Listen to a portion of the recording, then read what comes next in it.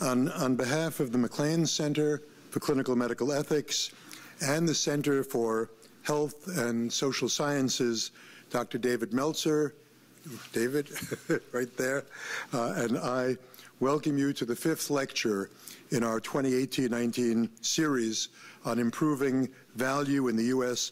healthcare system.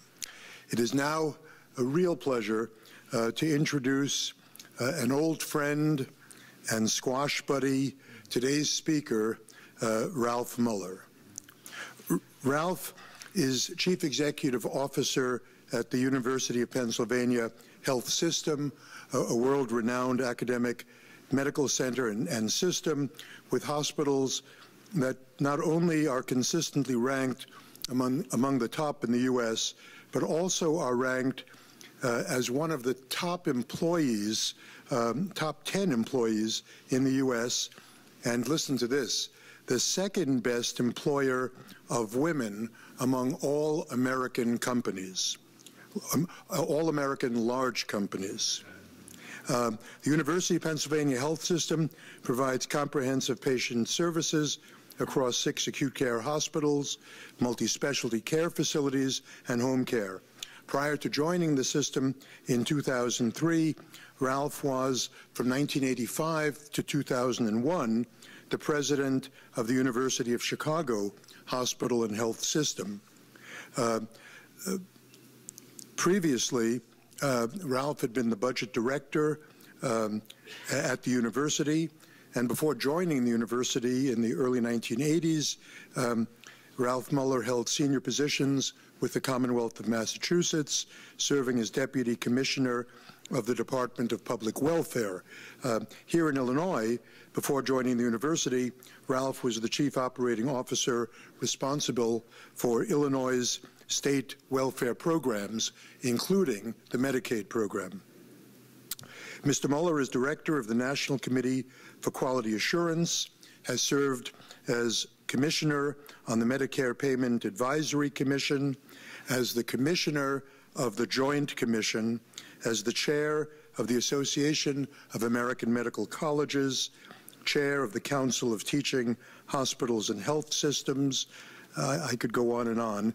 And here at the university, served for many years as chair of the National Opinion Research Center, NORC.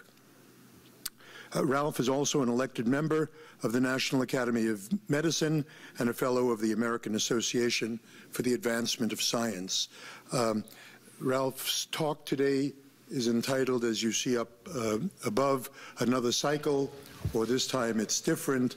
Please join me in giving uh, a warm welcome to Ralph. Thank you, Mark. Thank you, Mark. It's, it's, it's a pleasure uh, to be back. Uh, I was in this room many times over 16, 17 years that I had the pleasure to, to be here and seeing people like you know, Dr. Polonsky and Dr. Meltzer, Dr. Meadow, others here. Uh, we had many, many meetings here, and it was a you know, great pleasure uh, to kind of grow up in a sense at the University of Chicago. I'm still involved at NRC, as Mark uh, mentioned, so I get a chance to come back here uh, very often. And what I want to speak about today, as the title indicates, is you know, we go through cycles in American healthcare, and many people have pointed out every 20 years people keep making the same mistakes and they should have remembered from 20 years ago. So I'll, I'll tease you uh, before I give you my answer whether I think it is another cycle or whether it's, it's different this time.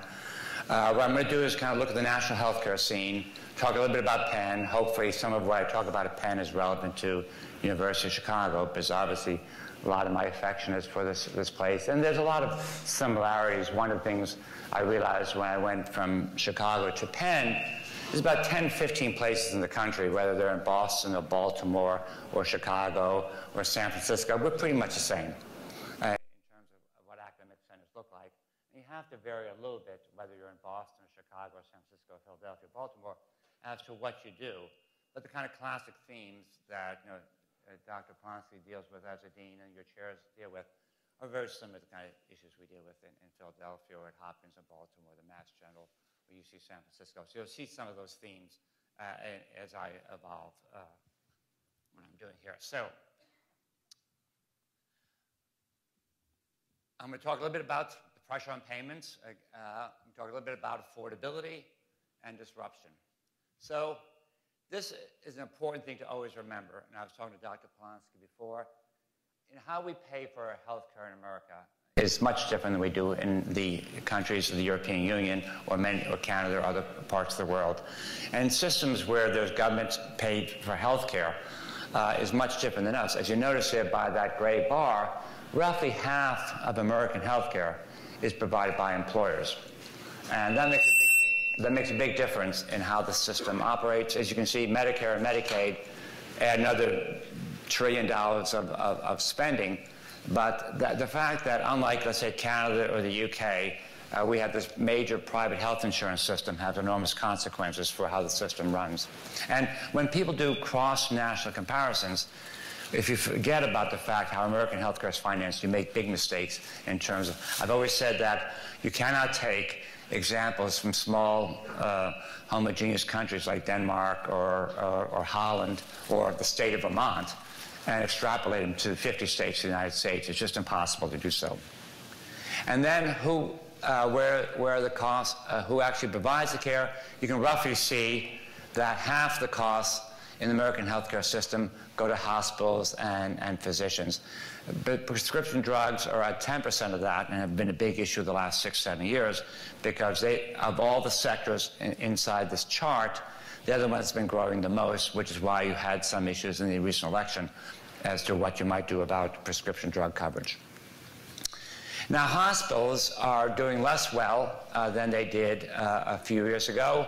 You can see these operating margins are the jargon by which people like me and Dr. Polonsky and others talk, and, uh, um, um, you know, President O'Keefe talk about these, these kind of uh, things. They're, they're going down. This is a national study from a company that's based in, in Chicago called Navigant. The operating margins are going down around the country. In some ways, uh, this was a deal when we got the Affordable Care Act, also known as Obamacare. The basic deal that doctors and hospitals made is if we got more coverage under the Affordable Care Act, we would take price reductions as a way of compensating for the payment of, uh, to cover more patients. Now, the bad news is that these healthcare costs, rising healthcare costs, are unsustainable. I would argue, as many people have, a big part of the election of 2016 is essentially the fact that the average person in society has really not gotten a compensation increase the last 20 years, insofar as that person who makes $50,000 has gotten a compensation increase in the last 20 years. It's come in the form of increased health benefits, but they really haven't until maybe the last few months or so really gotten what economists call real increases in, in, in compensation. Healthcare costs are going on this kind of steep curve. As Mark pointed out, uh, I'm still involved in NRC, but you don't have to go to NRC to figure out a curve like this is much steeper than a curve like that. So if costs are going up 200 some percent, and, and the uh, compensation is going up 50%. There's a big gap in terms of affordability. And this part of the chart is very important. Average American income, roughly $50,000. Um, the cost of health care on average is 15,000. Now, 15 against 52 may seem okay, but at the poverty level, you're making 24,000. If you're working at McDonald's, you're making 15,000. Obviously, if it costs 15,000 to provide health care coverage, and you're making $15,000, your employer is not very interested in providing you with health care coverage. So a central dilemma in American health care, if it costs $15,000, who's going to pay for it? Part of what the Affordable Care Act, Obamacare, did is to say, we'll give you subsidies to, to cover that $15,000. But that has been a big part of the policy debate the last seven, eight years. How do we pay for health care for the average person in the American population? Now, there's been a quite, this, this is uh, the, the, Northeast where I'm obviously I'm, based uh, uh, right now. As you can see here, the operating margins are getting pretty low for most of the systems inside the Northeast. Fortunately, we're still up here on the left-hand side uh, doing uh, quite well, and we've been able to sustain the overall enterprise. But by and large, most hospitals in the Northeast, and, and these charts would be the same around uh, the other uh, geographic regions of the country, are having declining margins and in more difficult shape than they were uh, before. Now, the, I've gone over what's happening in the economy the last 20 years and how healthcare costs have gone up. So we also have a new administration that came into Washington two years ago uh, that ran against Obamacare. The Obama crowd, like the Clinton crowd, and I've, as Mark indicated, I've been around a long time, you know, they were governmental interventionists. The Clinton people, they brought on Hillary Care, though that never got to pass. Obviously, President Obama brought on what even President Obama calls Obamacare. The current crowd doesn't want government intervention in healthcare. In many ways, what President Trump has done, almost anything that has President Obama's name on it, he's against. So he's been trying to undo Obamacare since he came in. The private sector has figured this out. They're not going to get a lot of intervention from government the, except for trying to tear things apart in these two, maybe two more years. So the private sector is kind of coming into healthcare with uh, the 18% of the U.S. economy being devoted to healthcare, they're kind of coming in. So here are some examples. I'm sorry. You know, the um, United Healthcare has now employed 20,000 doctors. Again, to go to my, my title slide, is this another cycle? Is this different? Some of us, uh, Mr. Goldblatt here was the chairman of the board when I was here. We know that in the 90s, a lot of big physician aggregations were uh, around the country, and they came and went and had big uh, crashing uh, exits from healthcare. Uh, uh, for those who have been around, like Bill Meadow and Mark and I, things like PhyCor, Med Partners, all kind of crashed and burned. is United Healthcare hiring 20,000 doctors going to know any different? in 2018 than those places who failed at it in 1994, 1995. But by hiring 20,000 doctors, they're obviously making a big bet that they know how to manage physician practices.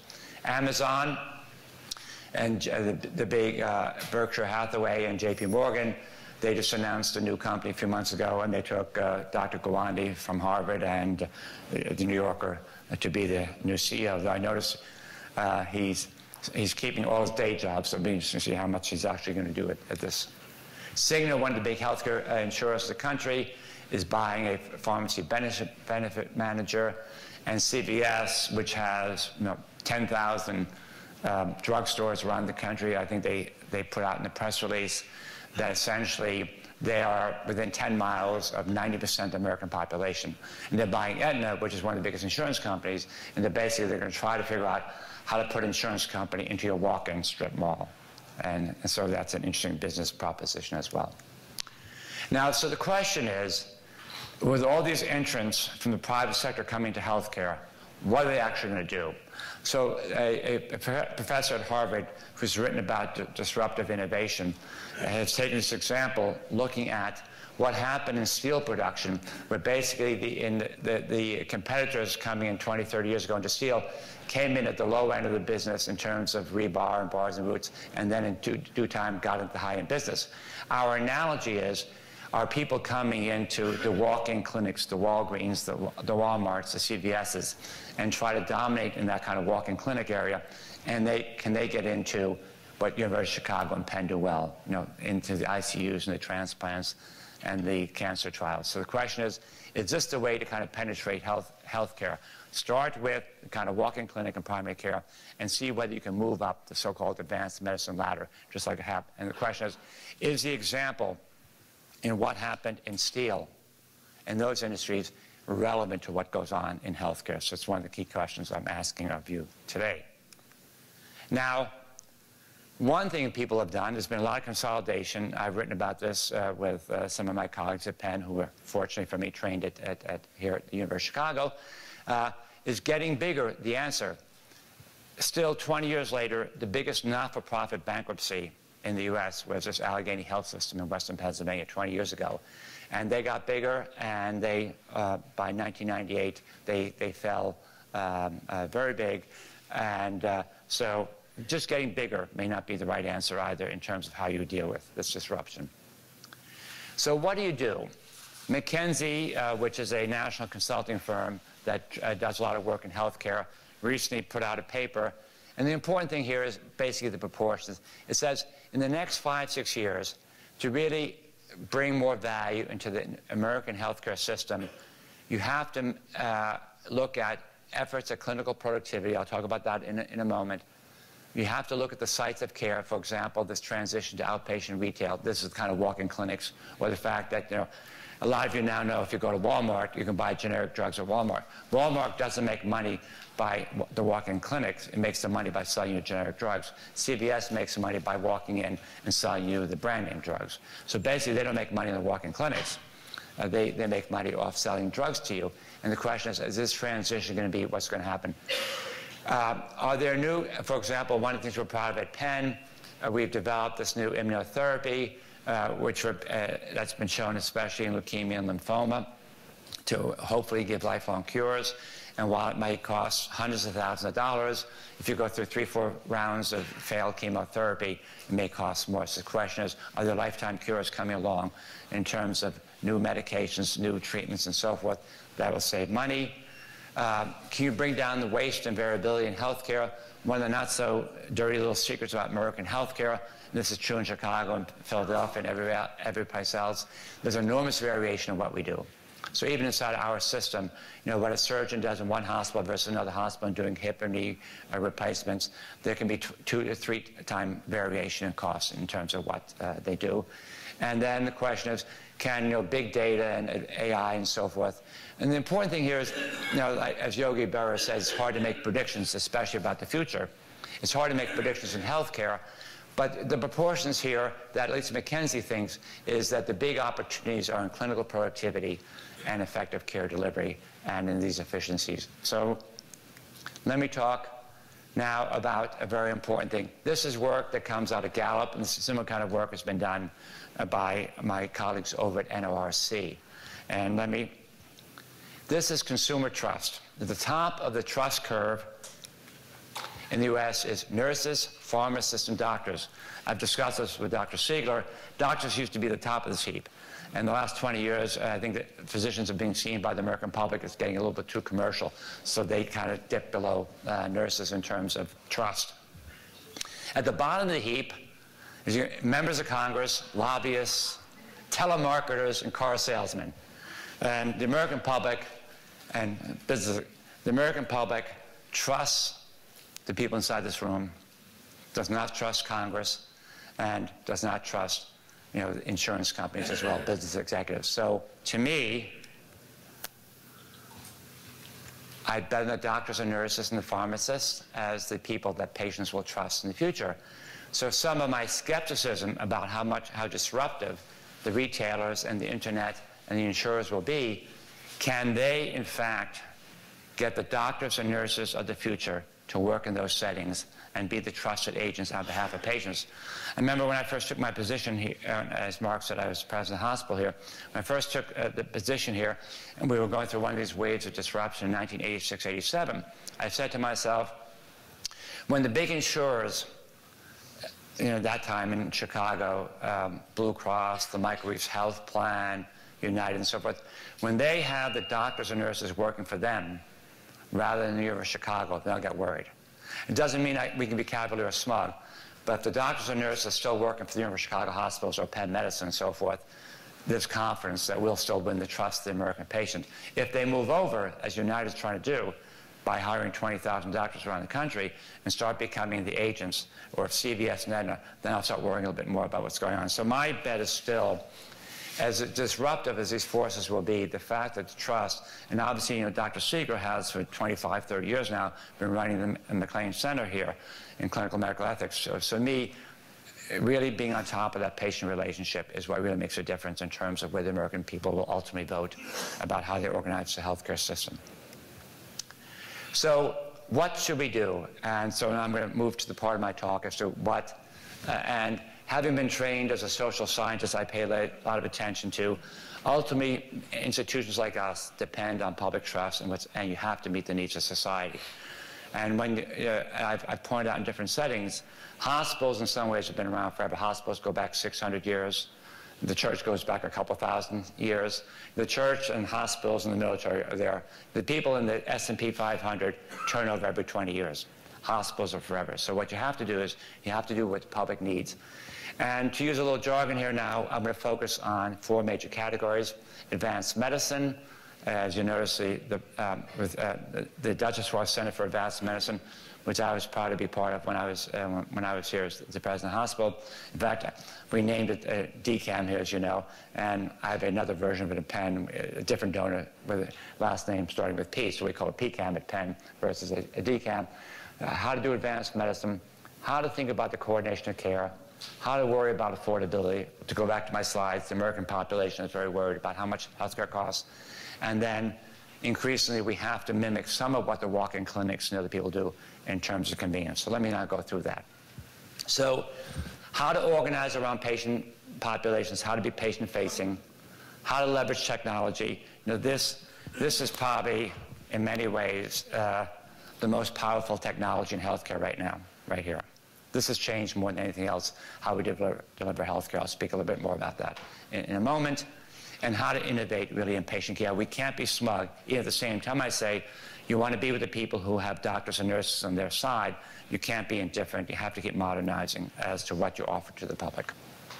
So, first of all, we use the phrase uh, at Penn, your life is worth Penn medicine, and I'm very proud of these are the top uh, honor roll hospitals in U.S. News. And of all those, uh, these are all 20 hospitals. Uh, our main hospital, which is comparable uh, to your Center for Care and Discovery, which is called the Hospital University of Pennsylvania. This is a ratio of expected to expected deaths. So basically, this says if you come to a hospital, obviously if you come in with uh, metastatic cancer or liver transplant, your outcome is going to be uh, a little different than if you're coming for a knee replacement. So uh, they, they do a measure of what's called how many people die compared to what would have happened. So the jargon is observed or expected. And if, if the ratio is normalized to one, uh, then you want to be below one.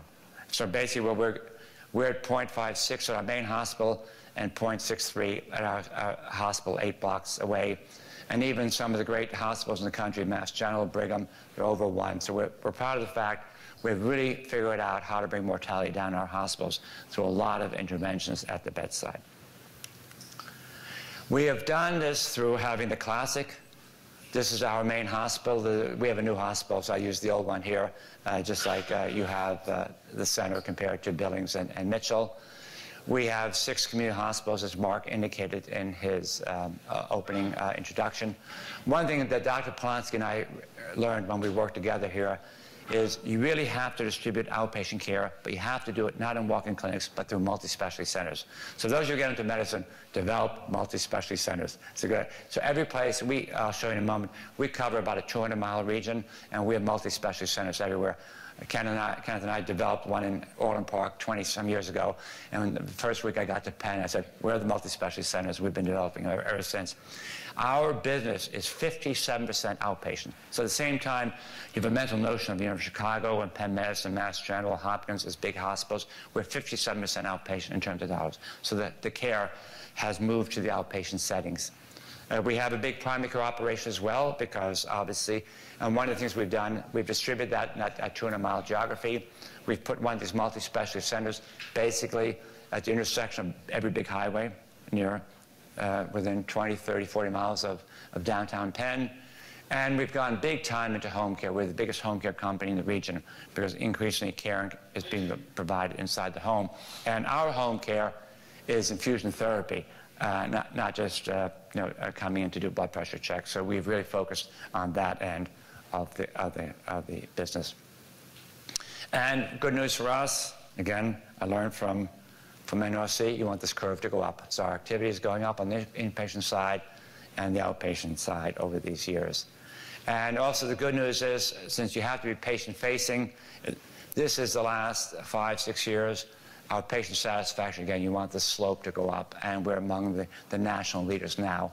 Uh, this is a measure, as Dr. Polonsky knows, uh, it's very highly correlated to outcome.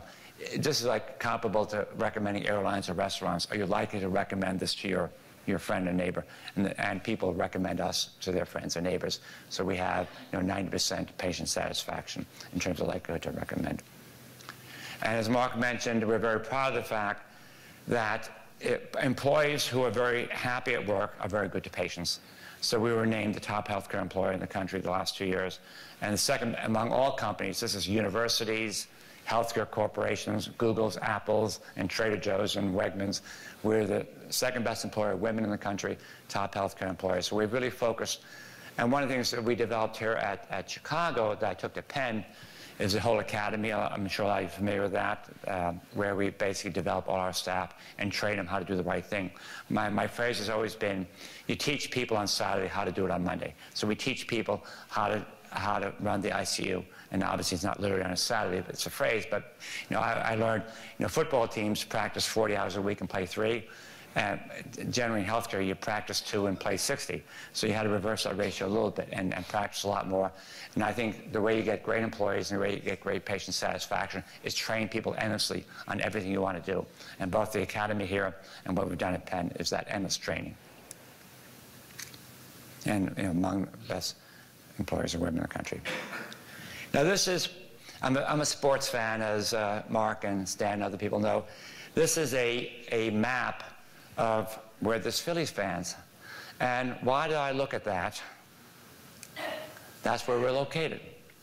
Because my thesis is that fandom reflects, med med medical referrals reflect the cultural values of a region. Now, having grown up in New York and Boston, I knew that the people south of Hartford were Yankee fans and north of Hartford were Red Sox fans. So when I came to healthcare, and that reflected, you know, whether you read the Boston Globe or the New York Times and what department store you went to or, uh, you know, what TV station. In those days when I grew up, you had over-the-air TV and signal only went 50 miles. So you basically, medicine reflects that as well. So, in fact, when we, I, I, I tell this uh, story inside my, my board, we took over the Lancaster Hospital here. And one of the, in the due diligence, one of the things I made sure before we took it over is that they were Phillies fans rather than Orioles fans because they were even closer to Baltimore Stadium and Johns Hopkins. So we go where there's Phillies fans. And therefore, what we have done is we've taken the 80 miles west of Philadelphia and the 50 miles north. Those you know Eastern uh, geography, like Dr. Siegel went to Princeton. North of Princeton, they go to New York. So I, I said to myself, I'm not going to fight against those historical patterns, so we're going to go to Princeton. And so we go to the Jersey Shore. We go 200 miles. This is 200 miles this way. 50 north and south. And so essentially, we have hospitals, and all these dots are outpatient, multi-specialty centers and so forth, where we have put our practices to really orient ourselves as Chicago has. Here's a little bit suggestion for you. Oh, and the, these are the kind of clusters where we do things. And these are our, especially in primary care sites. Hold on. This is the heat map of Chicago. Um, now, the trouble is you have all these Cubs fans everywhere, which helps Northwestern a little bit. So, so as I talked to Dr. Polonsky, you got to focus on where these White Sox fans are. And even as Stan Goldblatt and I were sharing, there's too many Cubs fans out here where we have summer homes. So this helps your demography here. But to go back to what we've tried to do here is we have clustered our hospitals, our outpatient centers, and our primary care sites in these areas and having hospital anchors with multi-specialty anchors in primary care in these three ovals is what's helped us to really have that kind of regional geography. And what we've learned is people will travel for cancer therapy. They'll even come in for surgery, but they're not going to come in 20 times for chemotherapy. They're not going to come in 20 times for radiotherapy, and they're not going to come in often for images and so forth. So you basically have to get close to the population. Where we differ from the Rite Aids and the CVSs and so forth is we put imaging and, and chemotherapy and radiation therapy out there as well, because we know that people do not want to travel 20, 30, 40 times 50 miles to do that. So that, that kind of regional presence, and it's more difficult in Chicago, because your demography is more difficult here than it is inside of Philadelphia, is basically what's allowed us to get very close to the patients in all these regions. Now, the payers, as I mentioned in one of my early slides, the insurance companies, essentially from the time you leave school to the time you get on Medicare, so roughly from age 20 to age 65, you're going to be covered in health care by your employer. Obamacare has changed that a little bit. And the payers, the big insurance companies, the Blue Crosses, the Aetnas, United that you have in your backyard here, basically become the agents of patients. And as I noted, they increasingly do not want to pay as much for health care as they paid in the past. So one of the big experiments in Obamacare was to quote unquote to go to more value-based payments. And one of the things I've noted at both at Chicago and Penn, if at Chicago you've been telling people for 100 years, come to me if you're sick, or Penn for 200 years, come to me if you're sick, guess what you're going to get when you put together an insurance plan? You get a lot of sick people. You can't run an insurance plan if you don't have what's called a normal distribution of patients. So if you're a place that gets sick people, you, don't, you do not want to run an insurance plan because that's what you're going to get. And since a sick person and costs 100 times as much as a healthy person, if you get a lot of sick people in your insurance plan, you're going to go broke pretty fast. So just a little inside baseball, you know, a lot of the big systems in the country right now, you know, like uh, Mass General Partners and the system in New York, just doing three, four hundred million dollar write-offs because they got insurance plans. And I said to them, what were you thinking about? If you're Mass General and Hopkins or those kind of places, people are going to come to you if you're sick. You don't want to run an insurance plan, but you want to run a, a spectrum of care. That, and the way to do that is to, what, what I would say is, is, take risk on what are called bundles. So we've been doing this the last couple of years, as, as has Chicago, in orthopedic care and cardiac care, where basically we take the accountability. After hip replacement, knee replacement, valve replacement, we'll take responsibility for 90 days of care. So we have to do not just the inpatient setting, the outpatient setting, the home care, but we do 90 days at a time. But by knowing it's going to be a valve replacement, or hip replacement, we basically know what the, the care process is going to be, which is different than just saying, bring me all the people you have in an ACO, and therefore you may get populations that just need hip replacements and knee replacements, and they pay you 7000 a year. You can't get 7000 a year across a whole population if they're all going to be hip replacements and knee replacements. So you have to do it in bundles so you're protected against that. So we've been taking, excuse me, sorry, going the wrong way here. So we've been taking the risk on these various bundles over the last four or five years uh, in Medicare, in Blue Cross, uh, and, and we think that's a way. And in those bundles, we get paid for the hospital care, the doctor's care, the radiology, anesthesia, the surgeon, and I would throw into that new labs and other things as well. So if you take, to me, I think a way an academic medical center should take risk and insurance is to do it in bundles so you're protected against risk selection. And that's part of what I think has done very well for us. It's a business model rather than getting directly into insurance. And in fact, we signed a contract, our big uh, Blue Cross, like you, is our biggest insurer. And so we did last year, is, as we get paid reasonably well uh, with Blue Cross, is said they were worried about our cost of care. I said, we will take the risk that any patient that gets readmitted to the hospital, we won't charge you for that. Any, and the kind of readmission rate in a commercial population is about 11, 12%. So on 11, 12% of the patients, and what we did is, was we knew enough from my Chicago days and our Penn days to know the reasons that people get readmitted to the hospital is they don't do the follow-up visit with their primary care physician. They don't take their medications.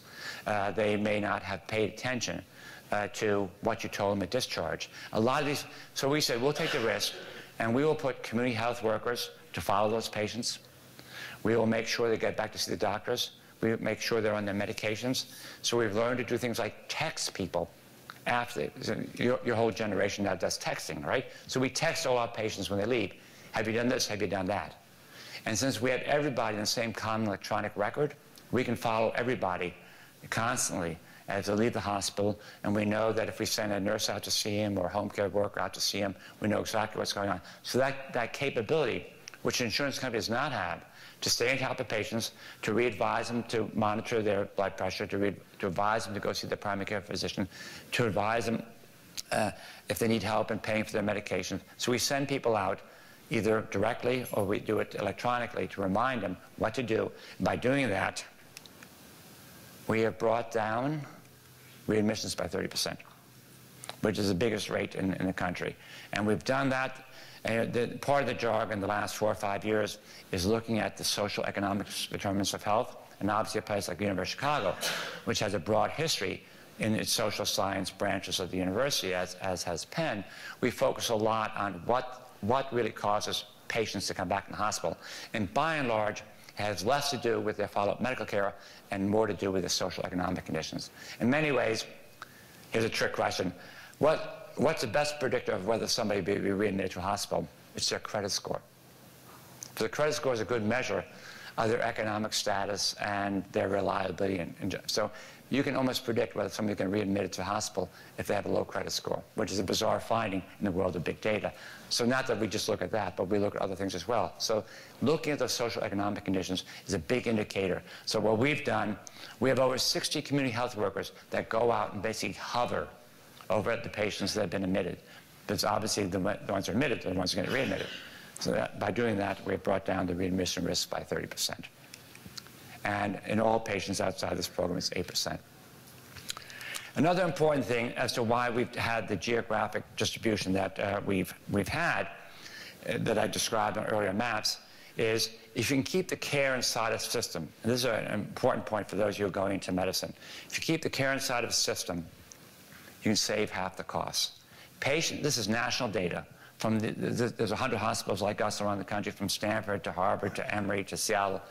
If you keep the care inside of a system, it's half the cost of when people bounce around. And some obvious things are duplicate MRIs and, and CTs and so forth, and misdiagnosis. But if you have integrated care inside a system, can, this is one of the major findings we've had in our research, as a national research over the last five, six years. Keep the care integrated inside a system, you'll save half the money. And that is how you bend the American cost curve, by keeping care inside a system. So, another important point, if there's two or three slides you pay attention to, remember this one.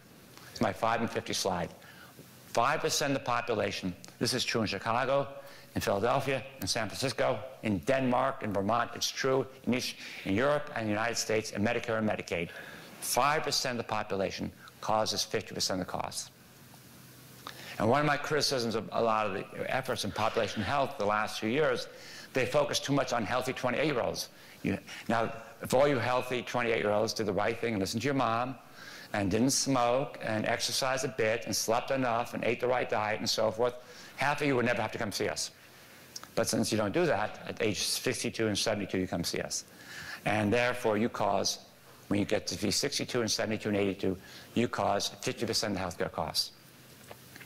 And if you don't take a dent at figuring out what to do with that 5% that costs 50% of the cost, you're not going to bend the American cost curve. In many ways, one of my crit critiques of the Obamacare, they didn't focus enough on this 5%. You have to, whether these are, uh, are preterm uh, births uh, uh, in, um, you know, in, in, the NICU that Dr. Meadow used to run, or cancer patients or heart failure patients or strokes. If you don't pay attention to what you can do in that 5%, you're not going to bend the American cost curve. And fortunately, we know that the good news and bad news is expensive cases, you know, cancer, strokes, transplants cost fifty to $150,000. Most people inside this room, you don't cost anything. Saving 100% of zero is still zero. So if you don't, if you don't cost anything at 28 and 30, basically at 32, age 28 and 32, you may have babies and you may have an accident, but basically you don't cost any money. Saving money on you is not going to bend the American cost curve. It's good 30 years down the road. But if you want to save money in American healthcare, excuse me, you have to focus on these cases. And the good news from my slide a few, uh, few slides ago, there's enormous variation in chronic disease, uh, congestive heart failure, COPD, cancer, stroke. And we've shown from national evidence there's 20 to 40% savings opportunity. So if you save 20 to 40% on a 50 to $100,000 case, you can really bend the American cost curve. And part of what we've done, for example, now when a patient gets readmitted to a hospital, they're likely to get readmitted for about 10, 11 days. And it's about roughly in a place like Chicago or Penn, it's about 5,000 a day. Get readmitted 10 days, 5,000, 50,000. Do the math. A $50,000 case when they get readmitted. So you want to make sure you keep those readmissions uh, down. So to me, where American medicine, where whether it's Penn or Mass General, Hopkins, Duke, Chicago should focus is what can they do to bring down the cost of these curves. And I think we're uniquely uh, placed to do that because we have doctors, nurses, social workers, pharmacists, and common electronic records all under one roof. And our strategy is a little hard to see. So at the base of this pyramid, you have your healthy patients. Again, important importance of moral cost, but not where the money is. All the money's up here. This is where American healthcare costs are. So we, you know, for the healthy patients, we have our primary care network. And as you move up the, you know, into your chronic conditions, uh, uh, as both, you know, Dr. Siegler and all the other doctors inside the room know, in due time, uh, in fact, Mark once taught me, you know, the average patient at, at Chicago or Penn uh, that we really work is someone who's like 74 years old and has got you know, diabetes and hypertension and BMI of 40. Those are the patients that cost all the money. So you have to figure out how to manage those populations. And one of the things we've really done that's enormous importance here, it's hard to see, we have a common electronic record every place we are. Our hospitals, our outpatient setting, our home care, common electronic, no matter where you come into the 200 miles in Penn, you're going to be in a common record. You know, it's Epic like you have. You know, we have it everywhere. So we can manage your care from the moment you walk in the door and, and know what meds you're on, uh, what images your doctor's notes. It's all uh, right there. And so we've, and we've also organized ourselves into service lines and disease teams. The average patient doesn't know he, needs he or she needs a neurologist or a neurosurgeon. They know they had a stroke, or they know they have lower back pain, or they know they, ha they have breast cancer. So we organize ourselves by cancer, heart disease, neurosciences. So our teams now, we take the classic academic departments of medicine, surgery, orthopedics, ophthalmology, we organize them all by disease teams as a way of organizing around patient populations. So the theme of this, as I've tried to develop, is this is a multifaceted approach where you have both regional uh, distribution to take care of patients where they are. You focus a lot on quality, as we have through our academy, and brought uh, the, both the, the, mortality rates to a national low and patient satisfaction. You develop bundles for payers to kind of share the expertise and give them some payment relief. You work on readmissions. You work on uh, variation. And these things, you have to work on all those things to really make a distinctive difference and cause society to keep saying, well, we, we want what Chicago and Penn can offer you. And, for example, these are cases without complications cost about one-third, one-fourth of cases of complications do. So you have to focus on quality, bring down hospital-acquired conditions, bring down those CLABSIs and UTIs and all those things that you know about as medical students and nurses, and you bring those down you'll bring your costs down enormously. And this is, say, it's 40,000 for cases with complications, 10,000. This, this difference in, in, in, uh, in cost curves is, again, one of the things that academic medical centers can really focus on. We focus a lot on the coordination of care. We, for example, we sign people up. Uh, there's a feature in Epic uh, called, you know, My Chart. We call it Penn Chart. And we have five, over 500,000 people who now can sign up and just look at their you know, look at their lab tests and their images and their doctor's notes every day. It allows you to really manage your care. And then we you know, communicate with your care team, manage your appointments, renew prescriptions. Make it easy. Make it easy for the patient to manage their care. We've invested enormously in telemedicine, whether it's you know, monitoring patients inside the IU. I'm trying to rush up a little bit so we have a few moments for questions. Uh, so we have the electronic monitoring of the intensive care unit uh, to remote monitoring of Parkinson's, and we even do telegenetics around the world. And same thing with dermatology, and we follow transplant. So having telemedicine, make it easy. You know, your hospital, like our hospital, is full every day. So uh, if you have a patient come from 80 miles away who has Parkinson's, and you know somebody, some adult child has to, you know, take the mom or dad in to bring them down 80 miles to see us, we now do that through telemedicine as a way of making it easier for patients to come see us. This nudge word is uh, obviously a tribute to the University of Chicago based on the, the book that came out from Cass Sunstein and Richard Thaler. We developed the first nudge unit in, uh, in, in medicine. I know there's 200, I think David Nelson, I think about 200 of these are around the world right now. We were the first one to develop it. A good University of Chicago product, Raina Merchant, uh, heads our Center for Digital Health. And we've basically taken the lessons from Silicon Valley and learn how to try things out fast. You learn this, you learn this Silicon Valley jargon of try fast and fail fast. You just try things out. And one of the things you do, you know, academic medicine is kind of wedded to process, uh, rightfully so.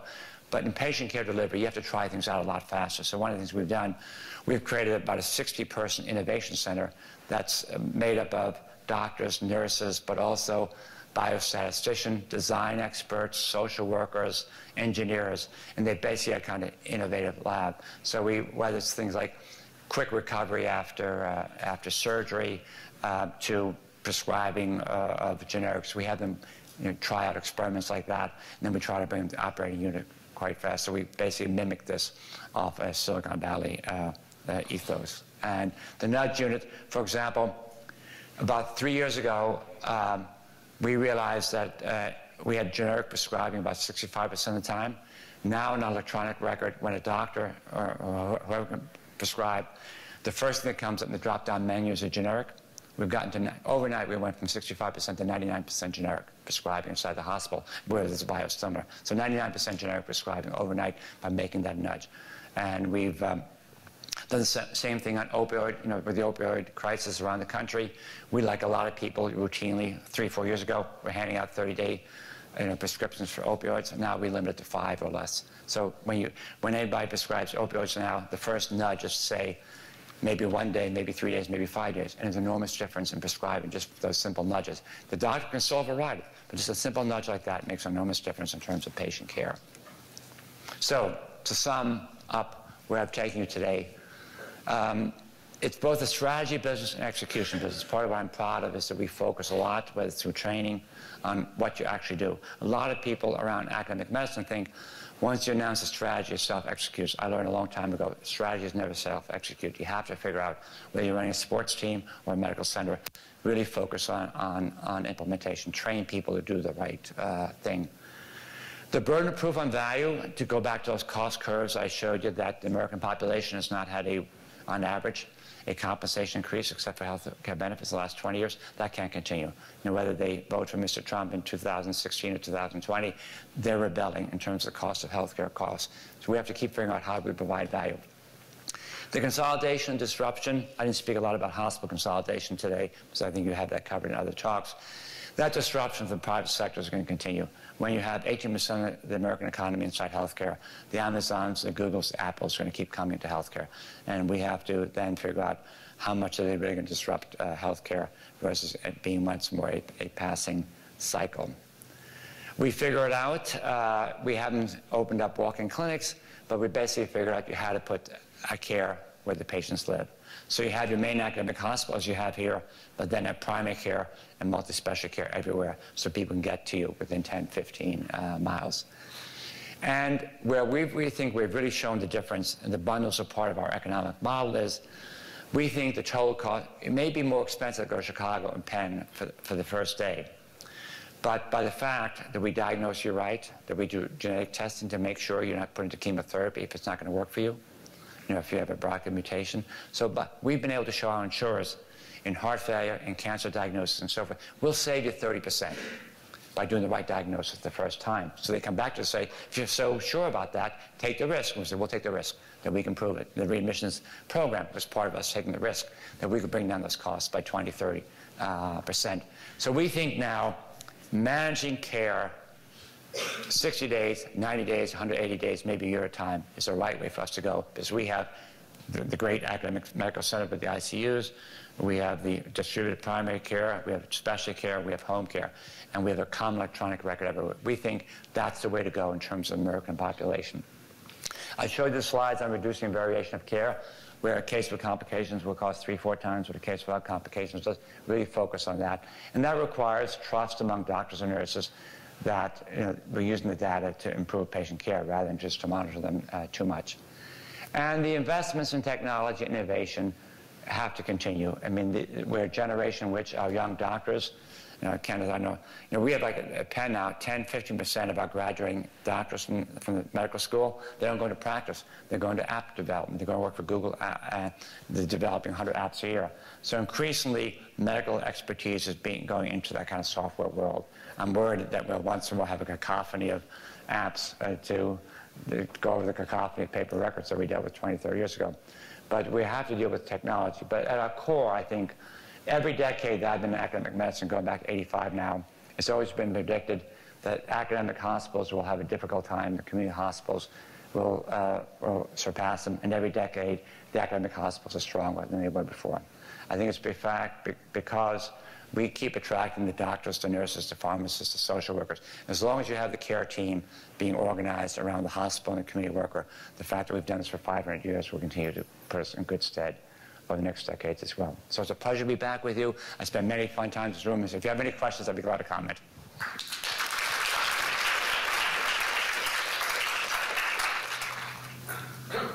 So I had a question about the 5% of yeah. patients that cost the 50% of, or cause 50% of costs. When they're shopping around for a procedure, assuming they are shopping around. Yeah, they're not. Um, yeah, if they're, if they're asking for a procedure that's like way, way above their deductible, how do you make them actually care that the procedure costs less at the time? Well, things.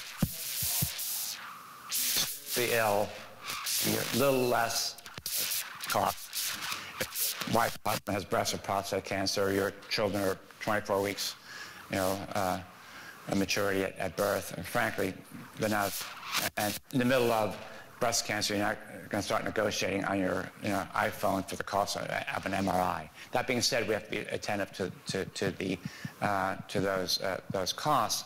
What we try to do is we try to show their insurance company, who's their agent, that we're better value over. So what we try to do with our Blue Cross and Aetna is basically say, let us be a center of excellence in stroke. Let us be a center of excellence for high-risk births. Let us be a center of excellence in proton therapy. So we try to give them packages so the patient doesn't have to make that decision as she or he is coming into the hospital. On the other hand, under Obamacare, you know, the, as, as, as, important as, as important as out, uh, out-of-pocket costs are, they're limited to $6,500 per patient and 13000 and that's not, you know, many parts of the American population can't uh, afford that. Uh, but there's Obamacare subsidies for that that Trump is trying to undo. So my politics are coming through. But by and large, um, on those cases, you know, for example, you know, we don't send anybody to bankruptcy and so forth. So you basically you can negotiate those expensive cases. My, my point is, only the insurance companies do not know how to manage those complications. We do. The people inside this room know how to manage those complications. We know how to do the right diagnosis. The insurance, insurance companies don't. So I think, in many ways, I think the insurance companies are going to go on to be like Visa, and they'll get their 3% off the top, but the care process will have to be managed by the people inside this room.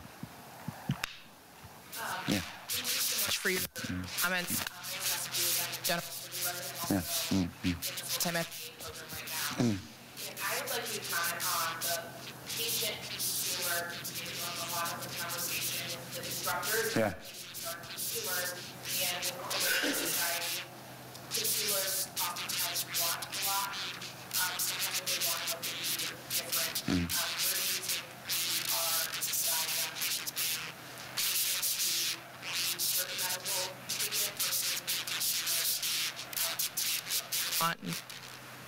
Well, to go back to the example that Dr. Siegler gave me, you know, 20 years ago, uh, a patient who's 74 has these really, there's asymmetric knowledge between what you know.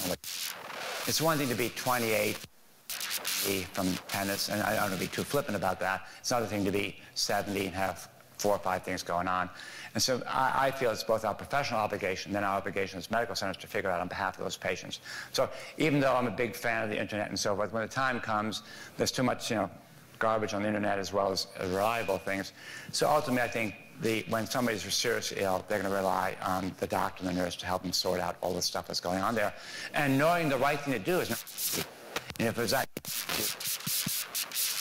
with four morbidities, major behavioral issue going on as well, uh, whether, it's, uh, whether it's depression or whether it's you know, uh, substance abuse. So you know, self-diagnosis is very difficult. In terms of these computer, and I, I tried these computer apps out where you can get a. Somebody says, oh, you're seriously ill, go see a doctor.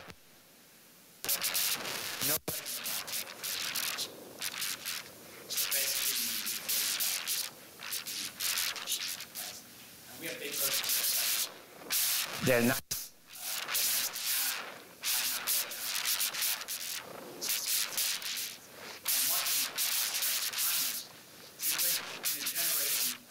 room text minutes, okay? If you, if you, if you allow if you allow this generation to text their doctor every minute, the doctors are going crazy. Even Kaiser now limits these texts to eight a month because they were getting too many people texting their caregivers every month. So if you bring the price of healthcare down to zero, you're going to demand even more of it. So one of the things that people forget about, when we brought in the walk-in clinics, they did not bring down primary care in the country. When we brought in urgent care, they did not bring down ED visits. Every big innovation in healthcare the last four years has been an add-on, not a substitute. And that's a big challenge for all of us inside. The, we keep adding on, which is why this is so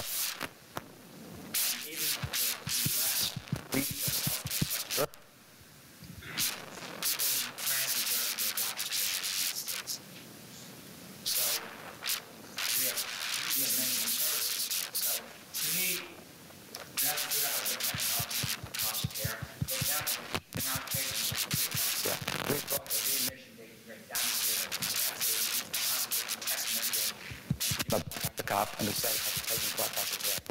I blood pressure and text it back if they have no problem. And zero from that. So, constantly, I've written about this, automated hovering of our patients What's going on. And know, the last four or five years, all of us have now, uh, with the opioid uh, crisis, and there's a lot of interventions one could do here uh, as well to help those patients. Oh, sure. David? Yeah. yeah. Ralph, so it was, I loved all the comments you mm. made about the real efficiencies Yeah. that Penn has Yeah, produced. yeah. But I, I want to go back to the slide you had about the margin. Yeah. Because the margin, of course, is the difference between the revenues Yeah, you've gotten yeah. and, the, and, the, and the costs you've had.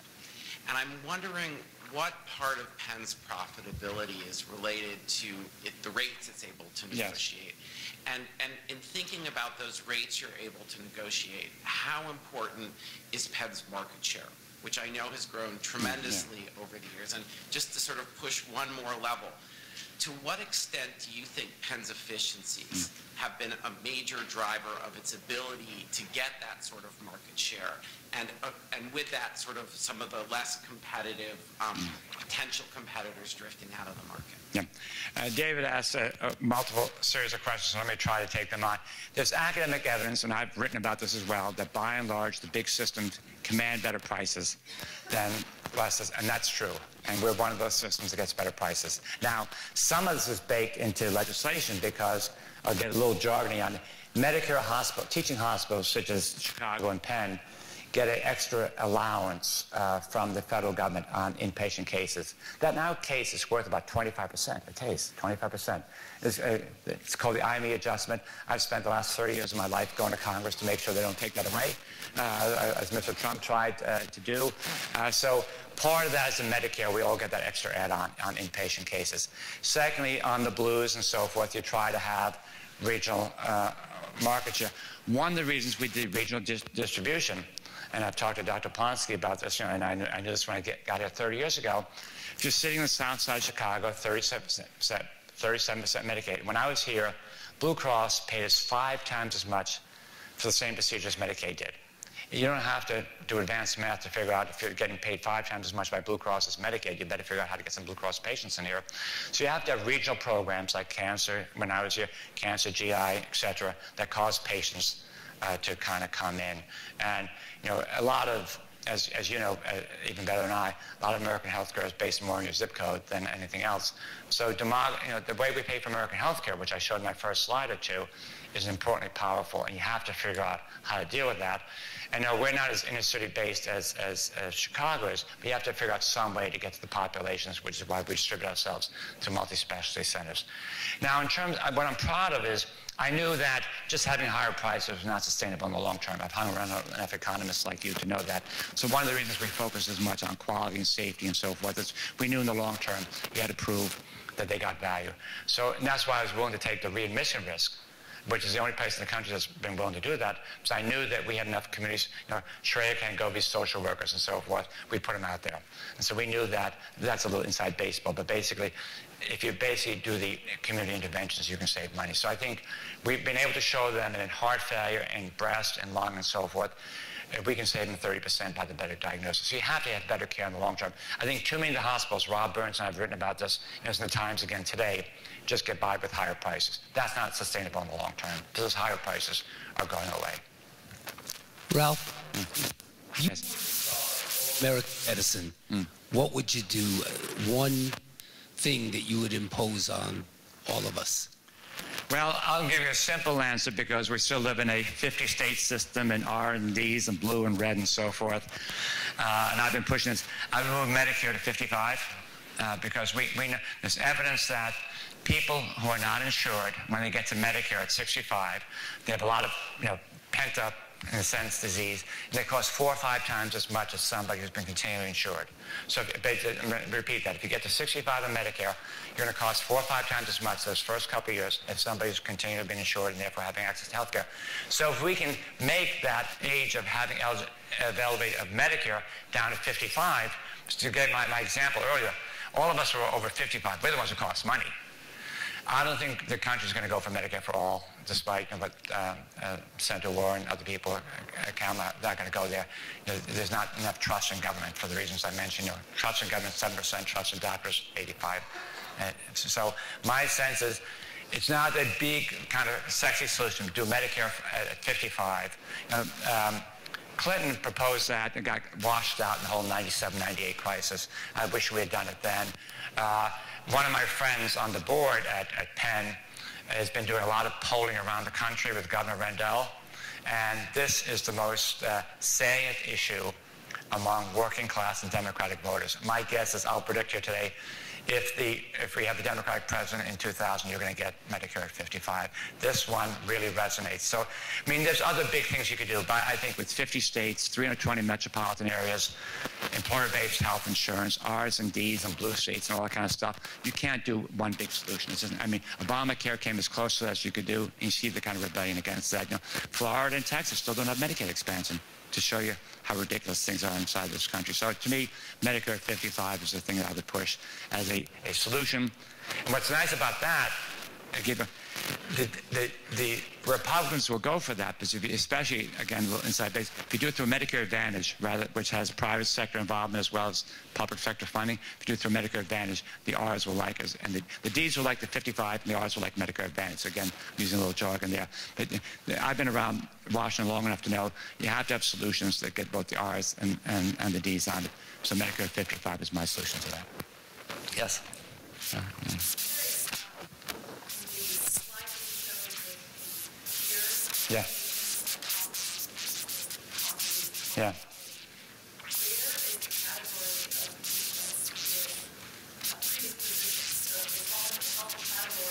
Hmm.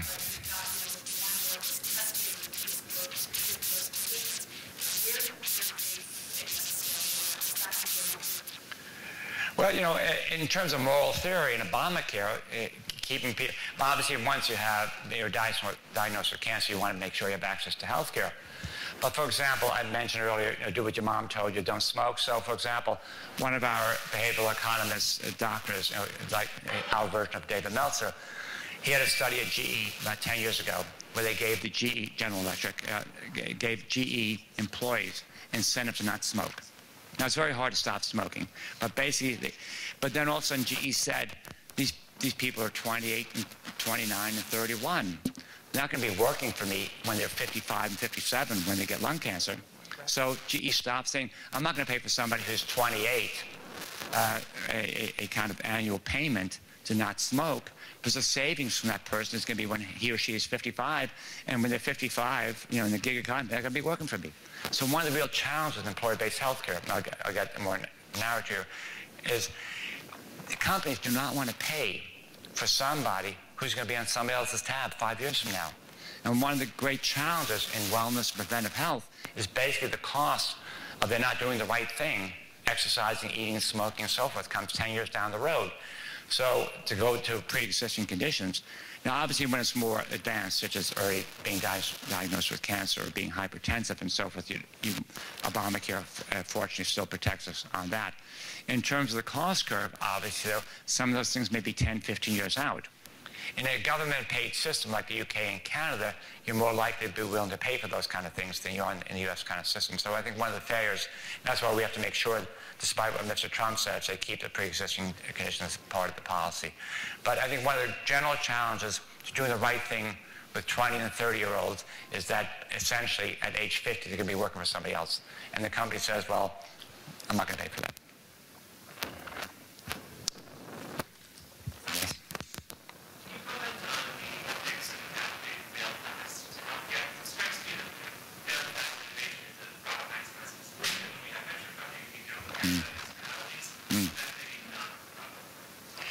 Well, first, uh, by fail fast, this is a kind of jogging from circle. First of all, we're doing this 10, 15 patients at a time. So, I mean, it's not like we're doing a 1,000 patients at a time. You try it out. So, for example, uh, you know, whether it's getting people uh, to, you know, check their blood pressure or take their medications. You try out different ways, uh, and we found that texting is a good way of getting staying in touch with people. So it's better patient care as well. So it's not just profit maximizing because in a world of bundles and so forth, uh, you one uh, in some ways obviously has economic benefit, but also keeping people out of hospitals, keeping people on medications, uh, keeping people uh, you know, healthy is, is, a good thing morally. It's not just an economic thing. So by and large, you know, hospitals for 50 years have been the most expensive part of the health system. I showed you the 30% slide. That's a little reduced from where it was 34 years ago. Keeping people out of hospitals is what most people have figured out is how you bring money, take money out of healthcare. So whereas reducing readmissions, uh, making sure you reduce the, uh, the hospital-acquired infections so you don't have complications. Those are things you want to experiment on. And those are good for patients as well as economically. So you know, by and large, a lot of our efforts at economic improvement are also efforts to bring quality up. So I think, I think that there's a moral uh, kind of overlap there. Listen, thank you. To be, it's great to be back here.